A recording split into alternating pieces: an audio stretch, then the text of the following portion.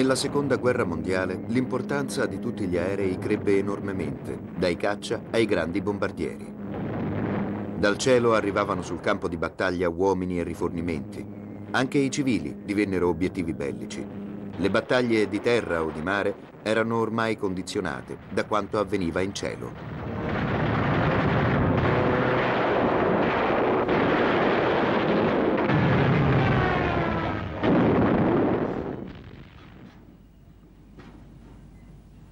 Tutto era cominciato molti anni prima, all'inizio della Prima Guerra Mondiale.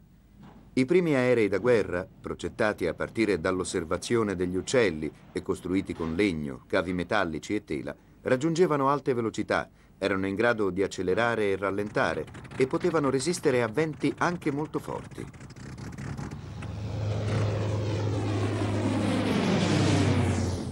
Nel 1918, alla fine della guerra, erano in servizio aerei capaci di percorrere più di 160 km l'ora. Era nata una nuova arma, l'aviazione.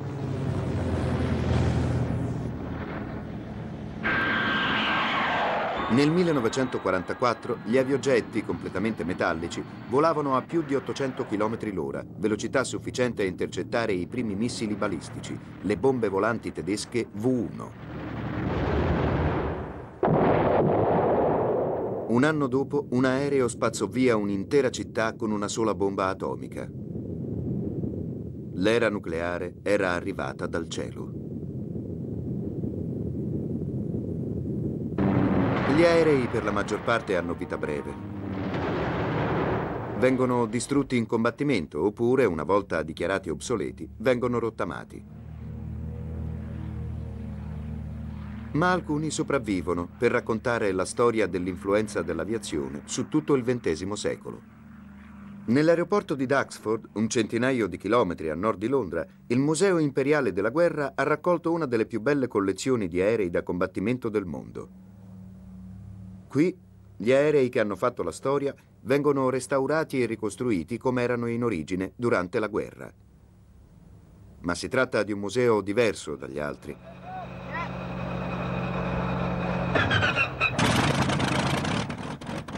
Duxford è anche un aeroporto funzionante. Qui la storia prende vita.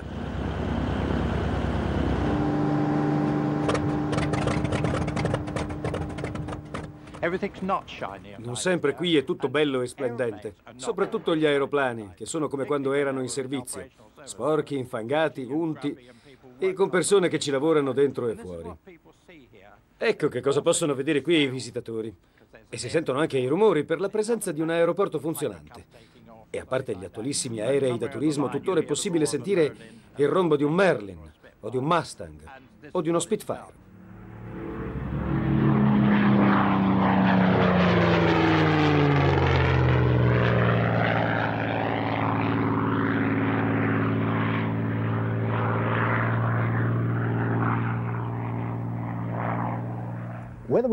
Insomma, che piaccia o no, è innegabile che il genere umano possieda una certa violenza innata. Dobbiamo esserne consapevoli, conoscere il pericolo che la nostra violenza può rappresentare per noi. Io credo che visitando questo museo la gente possa imparare molte cose sulla guerra. Detto questo, non si può negare che le macchine da guerra siano affascinanti. Il pensiero, il progetto e la manodopera che hanno creato molte di queste macchine sono interessanti, soprattutto se le si considera come creazioni dell'ingegno umano più che come strumenti di guerra.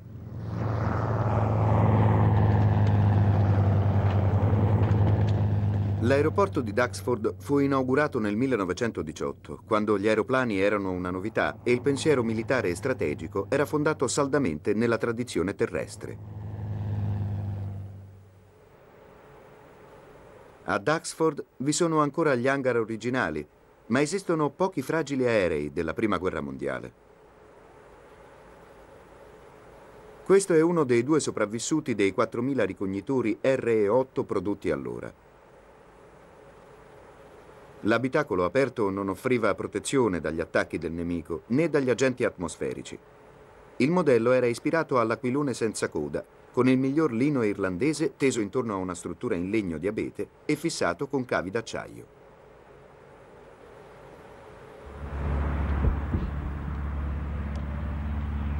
Tra le due guerre volare divenne anche uno sport. Quando la Royal Air Force non era impegnata in guerra, i piloti degli aerei da combattimento, disoccupati, compravano aerei leggeri come il Tiger Moth o si davano agli affari trasportando passeggeri in macchine più grandi come il Dragon Rapid. Era l'epoca del biplano. Negli anni 30 si usavano ancora legno e tela per la maggior parte delle costruzioni aeree. La fabbricazione di aerei da guerra subì una battuta d'arresto. Si volava soprattutto per divertimento. Ma c'era chi aveva altro in mente. Subito dopo essere stato eletto cancelliere, Adolf Hitler si dedicò al riarmo della Germania. L'aviazione, la Luftwaffe, doveva essere l'arma chiave nella Blitzkrieg, una guerra lampo basata sulla velocità e la sorpresa.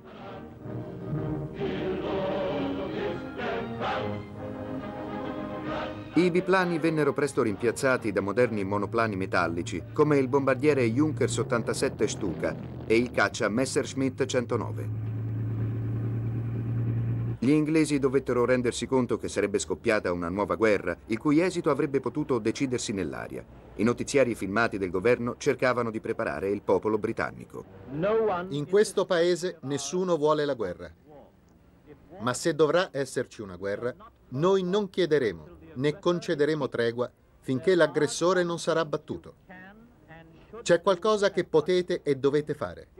Se già disponete di uno shelter e non lo avete ancora montato, Fatelo subito. Il preavviso potrebbe essere breve. Preparatevi adesso. Il bombardiere era la minaccia più grave. Gli shelter, i rifugi in lamiera, furono consegnati ai proprietari di case che avevano un giardino. Tutti gli altri avrebbero dovuto cercare riparo nei rifugi pubblici. Non vi allarmate. Mantenete la calma. La Gran Bretagna è una nazione preparata. Il tono era rassicurante, ma i fatti non lo erano per nulla. Quando cominciò la guerra, il destino della Gran Bretagna dipendeva da quattro dispositivi di difesa fondamentali. Una rete di stazioni radar capace di avvertire con anticipo gli eventuali attacchi aerei. Il motore aeronautico Rolls-Royce Merlin e i due aerei da combattimento che alimentava, l'Hawker Hurricane e il Supermarine Spitfire. Queste armi insieme avrebbero cambiato il corso della storia. Nella battaglia d'Inghilterra, l'elegante Spitfire colpì la fantasia della gente. Ma fu l'Hurricane a giocare il ruolo da protagonista. Era il primo caccia monoplano della RAF, entrato in servizio nel dicembre del 1937. L'Hurricane era solidamente costruito e pesantemente armato, con quattro mitragliatori su ogni ala.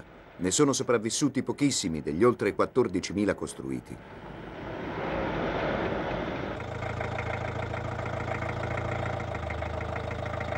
Questo è stato rimesso in condizioni di volo da una squadra di volontari. Sono occorsi 15 anni di duro lavoro.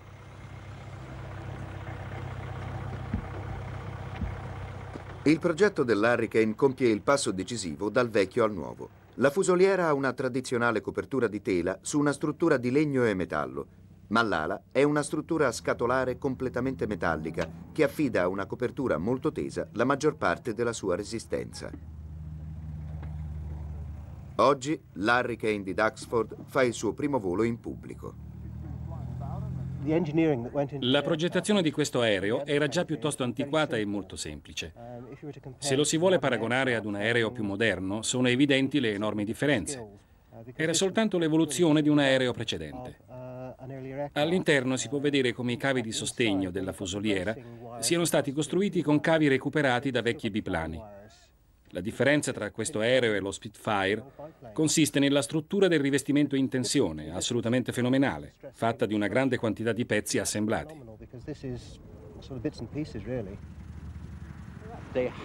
L'Hurricane era la spina dorsale dell'aviazione in quel periodo. Sidney Cam lo aveva progettato come un vecchio biplano, senza l'ala superiore. Era un aeroplano ricoperto di tela, più lento del Messerschmitt, ma aveva buone capacità di carico, era maneggevole, atterrava in poco spazio. Ricordiamoci che allora non c'erano piste d'atterraggio.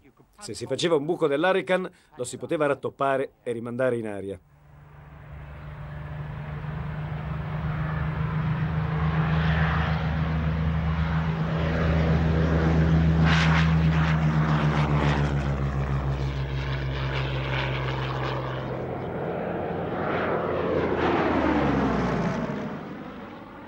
L'Hurricane era rapido e facile da costruire, in un periodo in cui i tempi di produzione erano vitali. Ci voleva molto più tempo per costruire uno Spitfire interamente metallico, ma l'Hurricane non raggiunse mai la popolarità dello Spitfire, nonostante abbia avuto un ruolo essenziale durante tutta la guerra. Abbatté molti più apparecchi nemici di tutte le altre forze di difesa messe insieme.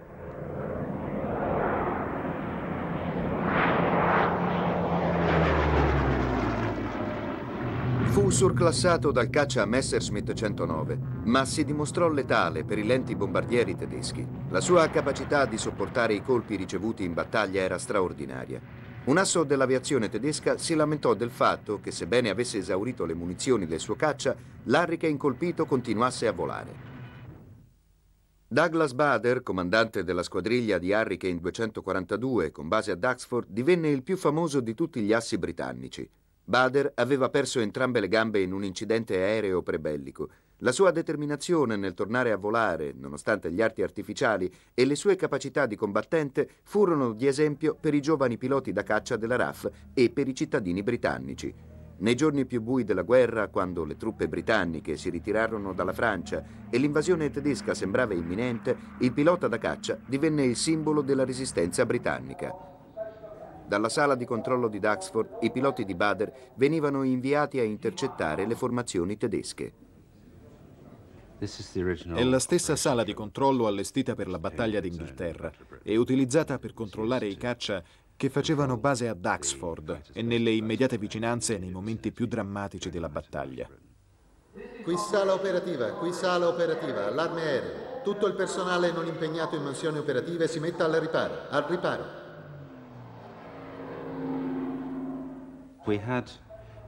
Per un'accurata ricostruzione ci siamo avvalsi di molte foto scattate qui dai reporter subito dopo la battaglia.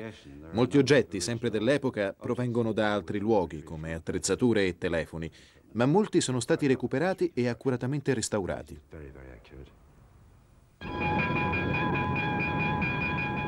Nel 1938 Duxford fu la prima base RAF ad avere in dotazione il rivoluzionario nuovo Spitfire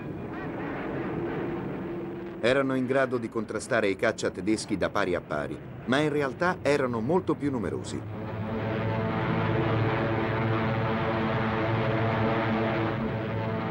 I caccia britannici operavano in squadriglie di 12 aerei.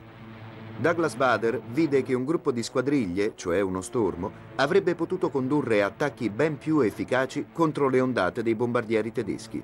Sotto il suo comando il grosso stormo di Duxford, un'unità di 60 tra Spitfire e Hurricane, divisa in cinque squadriglie, combatté con successo gli incursori tedeschi, infliggendo loro pesanti perdite.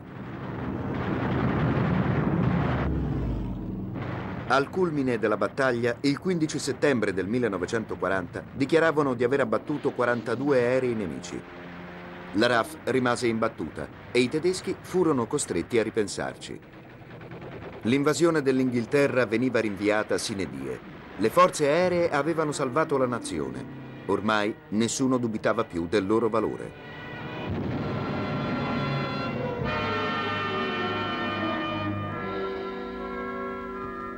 E così quel giorno ottenemmo una vittoria. Una vittoria che apriva la strada a tutte le altre a venire. La vittoria del 15 settembre ci procurò soprattutto del tempo, tempo per costruire, per riorganizzare, per finire il nostro lavoro. Durante la battaglia d'Inghilterra, anche chi non sapeva nulla dell'aviazione si rese conto che la nazione doveva la propria sopravvivenza a quegli apparecchi. Winston Churchill disse a proposito dei piloti da caccia, mai nelle guerre tanti hanno contratto un tale debito nei confronti di così pochi. Divennero eroi nazionali, non c'era ragazzo in Inghilterra che non sognasse di arruolarsi nella RAF. Duxford celebra i 60 anni dalla nascita dello Spitfire, con 21 esemplari messi in mostra accanto a due Hurricane, la più grande riunione di velivoli dopo la guerra. Gli odierni proprietari degli Spitfire sentono un forte legame con i piloti dei caccia del tempo di guerra, condividono le sensazioni e forse i pericoli del portare in volo quelle leggende della guerra aerea. Avrete visto dei film di aeroporti militari brulicanti di meccanici e piloti che lavorano alacremente attorno agli aerei. Ma non potrete mai entrare nella mente di quegli uomini mentre volano, né osservare le loro sensazioni al momento di combattere in volo. Quando il tuo aereo viene colpito, il motore comincia a scoppiettare e senti odori di carburante. Sono convinto che solo chi ha nervi saldi e maggiore esperienza tattica riesce a vincere. È proprio una lotta tra gladiatori, all'ultimo sangue. Io devo ancora incontrare un pilota da caccia di qualunque nazionalità che non sia in qualche modo soddisfatto di sé.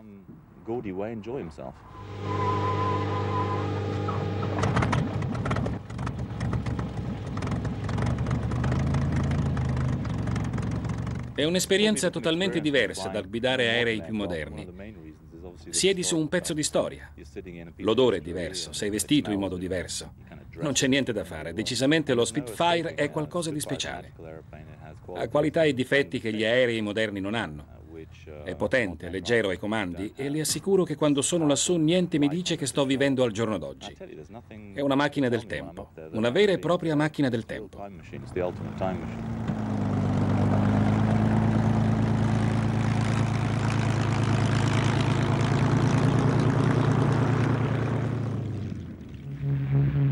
Pronti al decollo.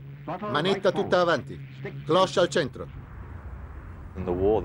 In guerra l'importante era creare delle piattaforme di lancio il più esterne possibile.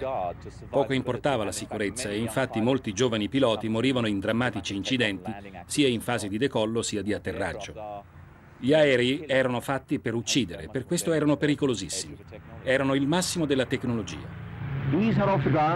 Si stacca delicatamente dal suolo con la normale spinta propulsiva. E ora ritrae il carrello.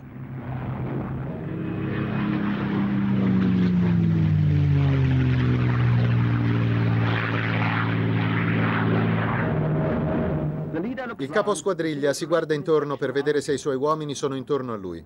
Uno è rimasto leggermente indietro e lui lo richiama con fermezza per radio. Poi salgono a quota di pattugliamento.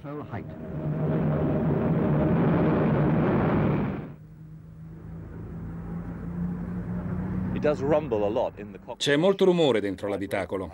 Tutto balla e vibra a potenza elevata e ad alto numero di giri. Quando supera i 2800 giri al minuto, l'aereo comincia a rabbrividire e ti parla. Il fumo dello scarico diventa più intenso e il rumore cambia tono. Lo Spitfire è unico in quel senso dà sensazioni molto forti, cosa che non ti capita su un Mustang o su un Hellcat. Praticamente sei seduto appena dietro il motore e sotto il serbatoio di carburante. Ce l'hai veramente in braccio. È molto eccitante.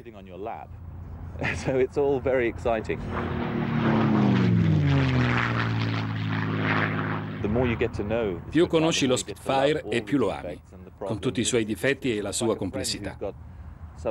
Proprio come un amico che ha un lato del carattere che è un po' ostico ma che tu accetti perché fa parte della sua personalità e ti piace. E a volte ti manca.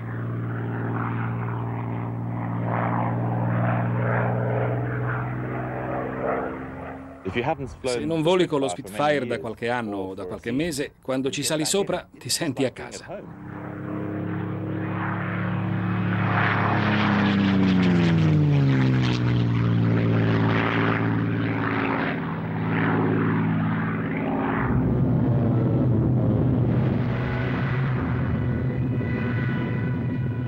Grande rivale dello Spitfire era il Messerschmitt 109. Ne furono costruiti quasi il doppio, più di 33.000. Eppure ne rimangono molti di meno. Questo fu catturato dagli inglesi in Nord Africa nel 1942. Era in ottime condizioni. È di proprietà della RAF, ma viene conservato a Duxford, dove è stato messo in grado di volare ancora. È un apparecchio complicato e richiede un'infinità di controlli per poter volare. Non va solo in giro a terra. deve volare, deve essere affidabile e tutto deve funzionare alla perfezione, perché la vita di chi lo piloterà dipende proprio da questo. Il paracadute è nell'abitacolo, ma è improbabile che il pilota riesca ad usarlo. Sappiamo poco degli aerei tedeschi. Avevamo poco e abbiamo lavorato molto per conservare l'aereo nel modo più originale e autentico possibile. Coloro che vengono a visitarlo quando entrano nell'abitacolo si commuovono proprio per la sua autenticità.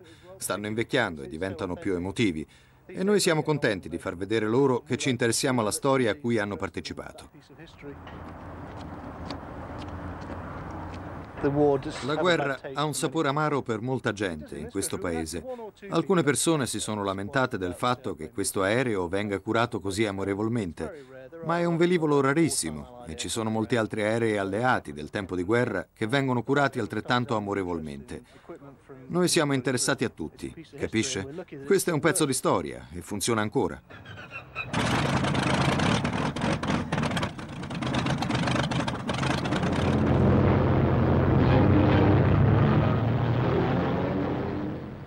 La battaglia d'Inghilterra tra i piloti da caccia della RAF e della Luftwaffe finì alla pari. Gli aerei avevano subito ingenti danni e da entrambe le parti si era imparato a trattare i nemici con rispetto.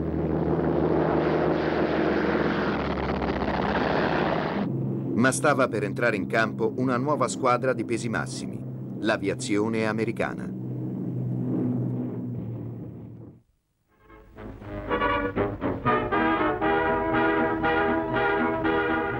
Nel dicembre del 1941 gli americani si allearono con gli inglesi nella guerra contro la Germania. Nel maggio del 1943 Re Giorgio VI e la regina Elisabetta visitarono all'aeroporto di Duxford il 78 stormo combattente dell'aviazione americana.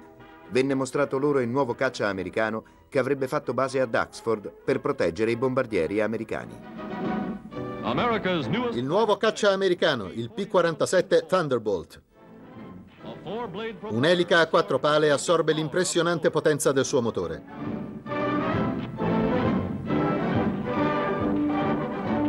Nelle sue ali sono custodite migliaia di cartucce per mitragliatrici. Coerentemente al nome, contengono fulmini di potenza di fuoco. Una potenza di fuoco sufficiente a fornire al 78 stormo combattente la terribile reputazione di unità invincibile presso la Luftwaffe i loro abbattimenti venivano ripresi da telecamere montate accanto alle mitragliatrici.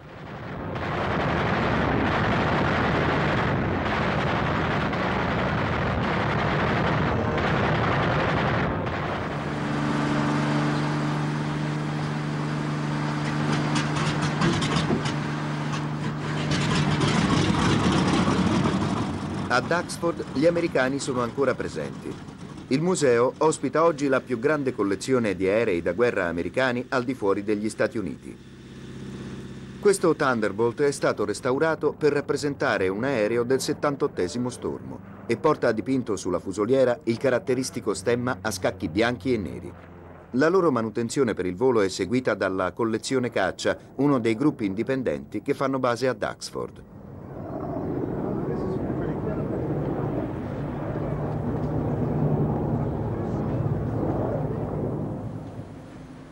Quest'altro invece non volerà più. Comprato dal museo dopo che aveva subito un incidente in fase di atterraggio, è arrivato qui con molte parti danneggiate o mancanti.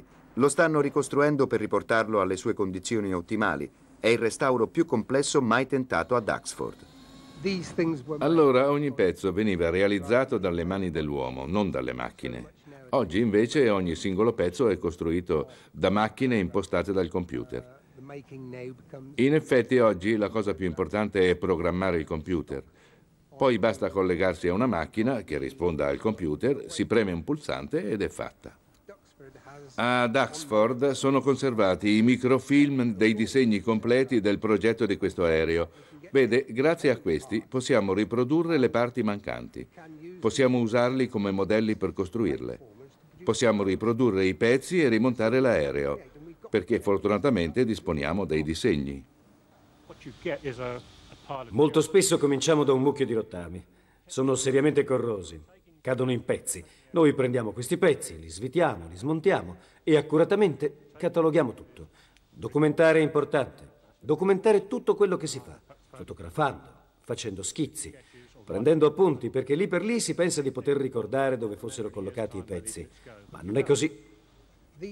Questi pezzi sono completamente inservibili, ma ce ne sono anche di meno danneggiati, come questo ad esempio, che possono essere smontati, ridotti ai loro componenti e riutilizzati.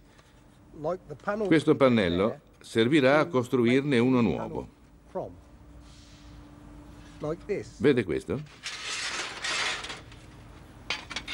È un pannello che abbiamo ricostruito con alcuni pezzi di uno danneggiato. Molte di queste parti, quando montiamo il rivestimento, non si vedono più. Ma la filosofia di questo museo è di ripristinare l'aereo il più fedelmente possibile a com'era in origine. In questo caso al 1945. E noi lo facciamo, per quanto ci è concesso umanamente di fare, cercando di rispettare anche il minimo dettaglio. Guardi, qui abbiamo il freno aerodinamico per la picchiata. Vede, questa è la leva che lo aziona. I cavi sono tutti collegati. Una volta montato il rivestimento, nessuno potrà più vederli. Questo è uno dei pannelli dell'ala del Thunderbolt. Adesso le mostro come si adatta perfettamente all'aereo.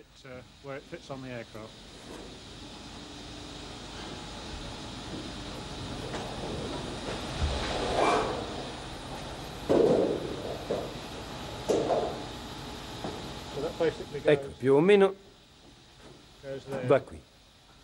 Si usano dei chiodi per fissare provvisoriamente i pannelli al loro posto.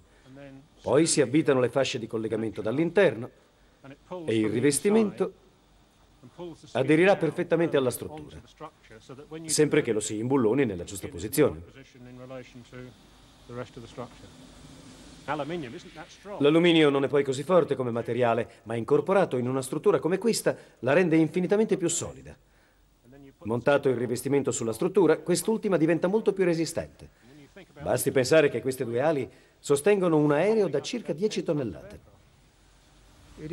È molto ben progettato. Ce n'erano moltissimi di questi aerei, credo più di 6.000 o di più, ma oggi eh, ne sono rimasti molto pochi. Il pilota collaudatore sale nell'abitacolo, indossa la maschera d'ossigeno ed è pronto a volare. Sembra che le ruote comincino a rientrare prima ancora che l'aereo si stacchi da terra. Era una catena di montaggio che ne produceva decine, pensando che al massimo in un mese si sarebbero ridotti a un mucchio di rottami schiantati in qualche regione della Germania. 50 anni dopo, noi lavoriamo perché l'aereo duri ben più di un mese o due. Tempo fa venne qui un americano, si presentò e disse di aver volato sul Thunderbolt. Gli dissi, davvero interessante, da che base? Da questa, disse lui. Sono stato un'infinità di volte in questo hangar con i miei meccanici. Sono passati 50 anni e lui era letteralmente stupefatto nel vedere quello che facciamo qui. Guardò l'aereo da vicino, naturalmente lo conosceva molto bene dentro e fuori, e disse, oh sì, era proprio così, ed è stato fantastico. 50 anni fa lui metteva in gioco ogni giorno la sua vita volando su quest'aereo. Il compito dei caccia era di proteggere i bombardieri americani durante le loro quotidiane missioni in territorio nemico, ma il raggio d'azione dei Thunderbolt era limitato dall'elevato consumo di carburante. Nel dicembre del 1944 il P-51 Mustang sostituì il Thunderbolt ad Oxford. Il Mustang era uno dei migliori caccia che fossero mai stati progettati. Più veloce, più leggero e con un consumo pari alla metà di quello del Thunderbolt. Era in grado di sopraffare i caccia tedeschi e di proteggere i bombardieri nel loro percorso verso gli obiettivi in territorio tedesco.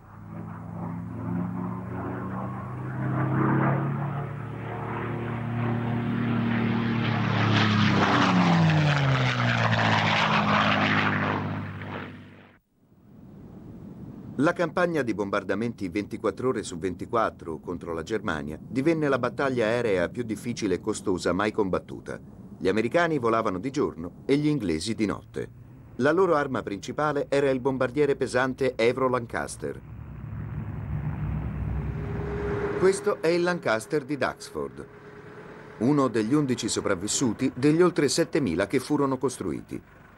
Era arrivato al museo a pezzi Ora è di nuovo in condizioni operative. Durante la guerra questi bombardieri a lungo raggio colpivano le città tedesche con bombe dirompenti o lasciavano cadere una pioggia di spezzoni incendiari con effetti terrificanti. La battaglia di Amburgo si combatté tra il 24 luglio e il 3 agosto.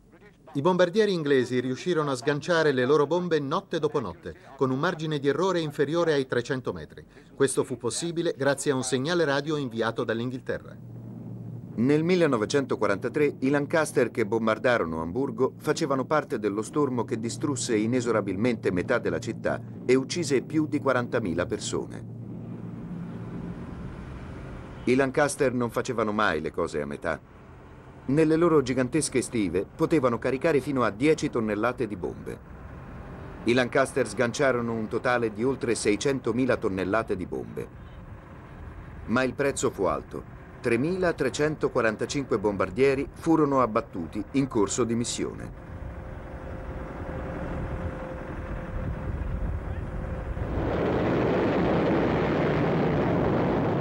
La risposta americana a Lancaster fu il B-24 Liberator. Ne furono costruiti più di 18.000, ma andarono quasi tutti distrutti.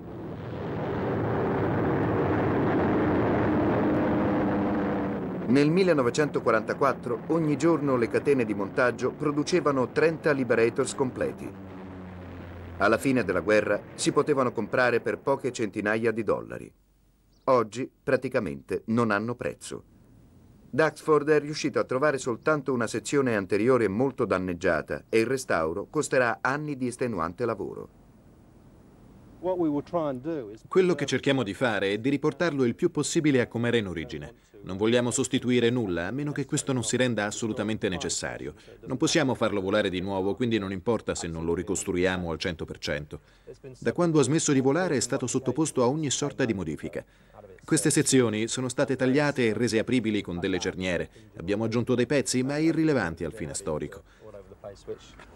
Come le ho detto, il nostro compito sarà quello di riportare l'aeroplano che vede a quello che era prima dell'incidente. Ora, per quanto riguarda l'interno, è da ritenersi senz'altro più importante della struttura stessa. Il motivo per cui vogliamo esporlo nel museo è che vogliamo usarlo per spiegare come funzionava. Il Liberator aveva dei compiti ben precisi ed è importante che l'interno sia attrezzato esattamente come durante il suo servizio operativo. Quindi una delle nostre maggiori difficoltà è quella di ritrovare tutto quello che effettivamente conteneva. Ecco, da qui si può vedere la posizione del pilota. Dovremo fare un'enorme quantità di ricerche e ci vorranno parecchi anni per poterlo mettere in mostra in modo accettabile.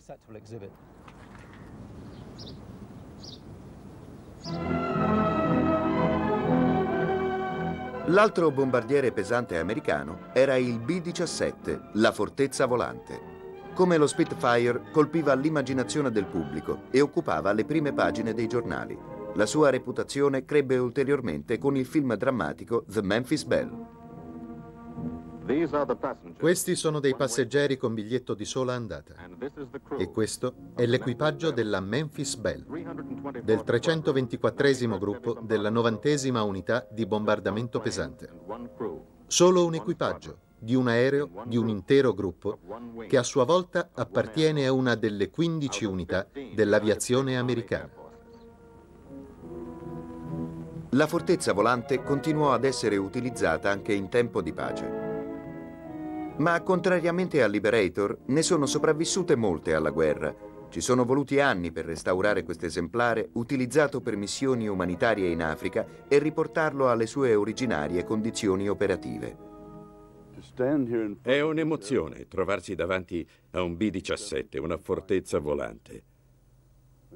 Riporta alla mente tantissimi ricordi quanto erano grandi e moderni i B-17 e i B-24, che fecero tutti i bombardamenti diurni in Europa. Poi la RAF si incaricò delle missioni notturne e con questi aerei giganteschi riuscimmo a ridurre in ginocchio la Germania e la guerra finì. Questo aeroplano è meraviglioso. Le bocche da fuoco anteriori giustificano l'appellativo di fortezze volanti, infatti potevano sparare in ogni direzione. Ma la cosa che faceva grande questo aereo erano i turbocompressori. Erano in grado di pompare ossigeno extra al motore, il che gli consentiva di sorvolare abbondantemente i proiettili della contraerea tedesca, che tuttavia riuscì ad abbatterne molti. Ecco la contraerea. Quelli sembrano innocui sbuffi di fumo, ma dietro ogni sbuffo c'è uno shrapnel che esplode spargendo in cielo schegge e frammenti alla distanza giusta, grazie a precise indicazioni via radio. Questo aereo, probabilmente, è il più bell'esemplare di B-17 oggi esistente. È stato restaurato fino al minimo dettaglio, con le radio e tutti gli strumenti di navigazione. Tutto è come durante la Seconda Guerra Mondiale. Sono rimaste poche fortezze volanti B-17 al mondo. Che qui si siano interessati al loro restauro, al rimetterle a posto com'erano, è quasi incredibile. Io, che conosco buona parte di questi pezzi, anzi direi tutti, ero sicuro che non sarebbero riusciti a trovarli e che avrebbero dovuto procurarsi le macchine per produrli. E invece, incredibilmente, ce l'hanno fatta. Le fortezze volanti, come la maggior parte degli aerei da guerra, erano sacrificabili. Erano costruite per un unico scopo, sganciare bombe, distruggere, uccidere. Non bisogna dimenticarlo.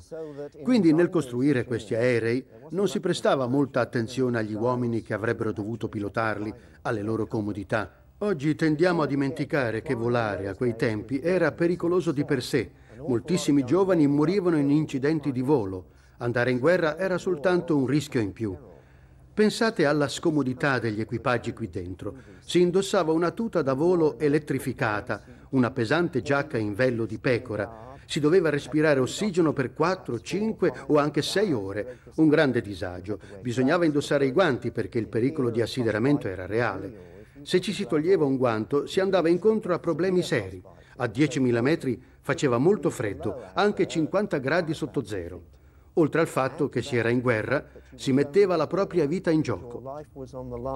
Questi uomini avevano un coraggio incredibile ed erano giovani.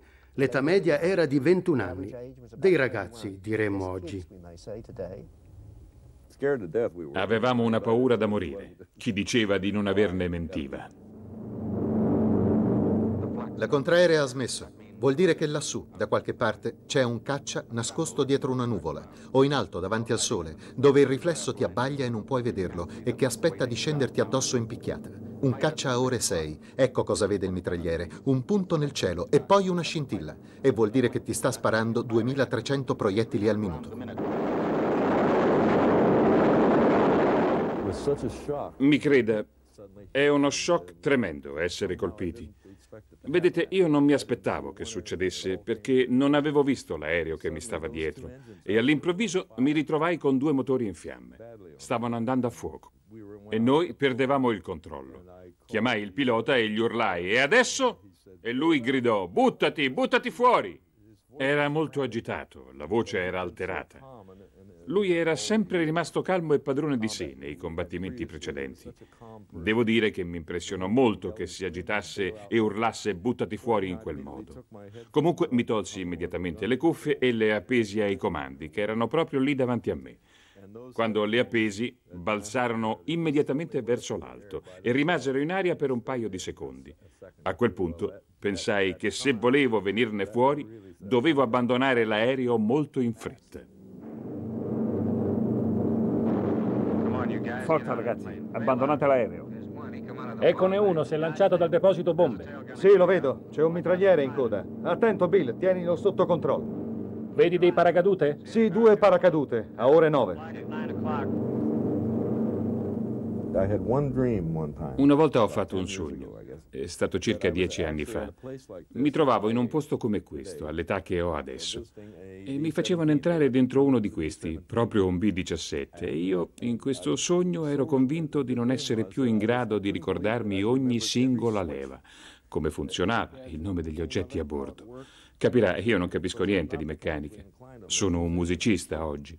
Davvero, mi sembra incredibile. Eppure quel sogno l'ho fatto e in realtà sono convinto di non capire niente di meccanica. E invece eccomi qui e mi ricordo tutti questi aggeggi o congegni. Oggi quel sogno si è avverato. Per me è un fatto straordinario. Le ruote di un Memphis Bell toccano il suolo d'Inghilterra per la venticinquesima volta.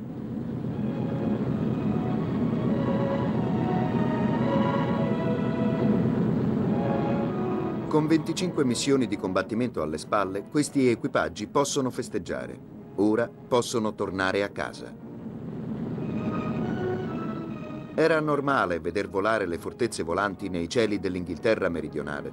Oggi a Duxford è conservata l'unica fortezza volante ancora in grado di volare che esiste in Inghilterra, la Sally B. Viene fatta funzionare dai restauratori di B-17. Quando è arrivata era appena stata adattata per usi civili, era completamente vuota e quindi abbiamo pensato di farne di nuovo un bombardiere. Bisogna essere bravi, saper usare gli attrezzi ed essere in grado di risolvere tutti i problemi. Bisogna prendere in mano i manuali e chiedersi da dove cominciamo. Siamo andati dove c'erano una volta i campi di atterraggio e abbiamo scavato e la maggior parte delle armi che abbiamo rimontato sull'aereo sono state trovate dove le avevano lasciate gli americani. Le abbiamo restaurate, pulite e rimesse al loro posto.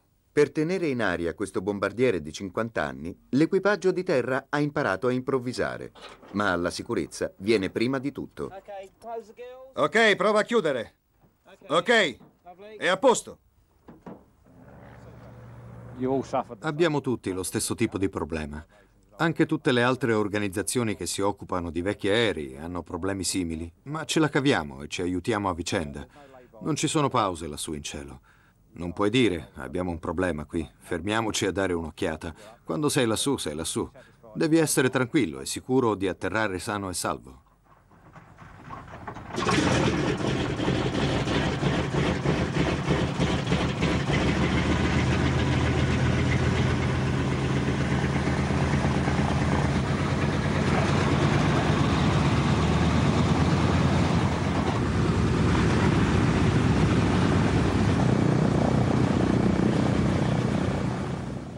Alcuni visitatori del museo guardano gli apparecchi con indifferenza, altri invece li guardano con una sorta di reverenza. Questo dipende da quanto sanno sulle circostanze in cui venivano usati.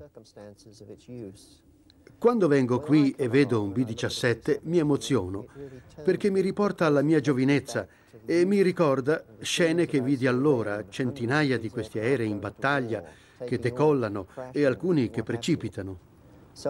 Ho motivi particolari per commuovermi alla vista di questi aerei, ma credo che rimangano il simbolo di quei giorni.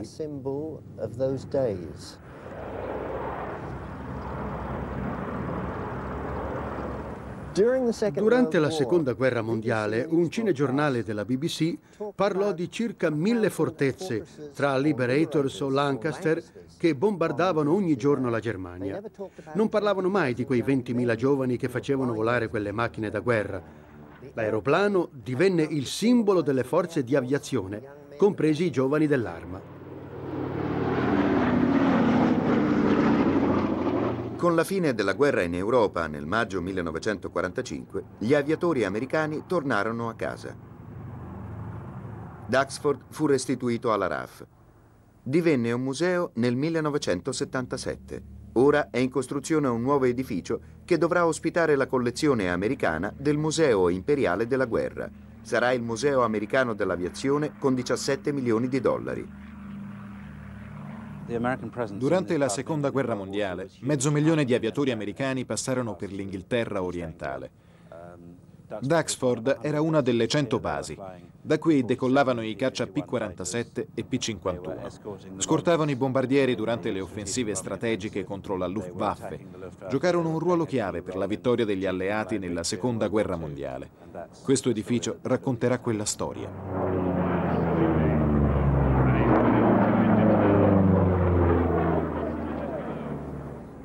Ma racconterà anche la storia del dopoguerra. Il pezzo più grosso della collezione sarà questo enorme bombardiere B-52 che prestò servizio nella guerra del Vietnam. Con un equipaggio di quattro persone portava il carico di bombe di 10 fortezze volanti e necessitava di 100 specialisti. Circa 30.000 degli americani che prestavano servizio nelle basi inglesi persero la vita nel corso della Seconda Guerra Mondiale. Il Museo Aeronautico Americano sarà dedicato alla loro memoria. Agli uomini dell'aviazione inglese, che stanno ora volando sulla Germania, distruggendo obiettivi a circa 2000 km dalle loro basi, e che non hanno mai voltato le spalle al nemico.